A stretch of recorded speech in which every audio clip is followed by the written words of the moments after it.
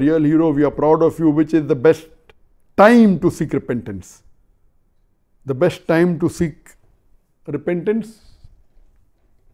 The best time you ask for forgiveness, uh, best time to dua. We'll be discussing more in detail in the next session. That is Ramadan, the month of supplication. But the best is it, it would be Arafah. If you are doing Hajj, a day of Arafah after Dhuhr, before, uh, before Maghrib, is the best time because you know it's for fixed.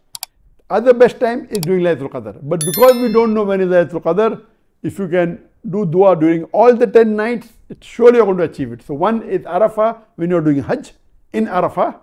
Then along with it equally good it will be doing Laylatul Qadr. But because we don't know that means we'll have to pray for all the 10 nights, then you'll get it. The other time when repentance is, uh, is, uh, is also accepted, it is during the last one third of night. There is one hour during the last one third of night when Allah subhanahu wa ta'ala comes down towards the lower heaven and He forgives the sins and He says, Who is asking for forgiveness of his sins? And I'll forgive. The other time, it's the time of tahajjud. The other time of repentance, well accepted, is during the one hour, the sa after Asr Salah, where Allah accepts. After Asr, before Maghrib, during, during Friday, one hour is the time when, when you ask for dua and Allah accepts your dua. So if you repent, Allah will accept repentance better there.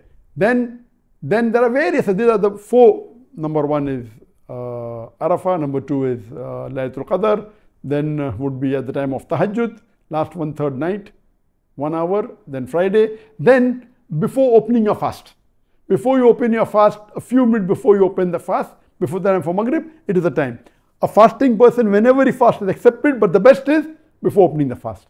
Then a person who's traveling, his, his repentance, his dua is accepted. Uh, uh, uh, when it rains, you do dua, it is accepted. So these are then after the Fajr Salah.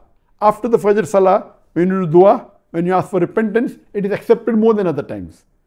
These are the times which are preferable, but generally you can ask Allah, you can supplicate to Allah, you can ask for repentance anytime 24 hours by 20, 24 hours by 7. Any time of the day, any time of the night, any time of the month, any time of the year, Allah inshallah will accept, but these are the preferred times.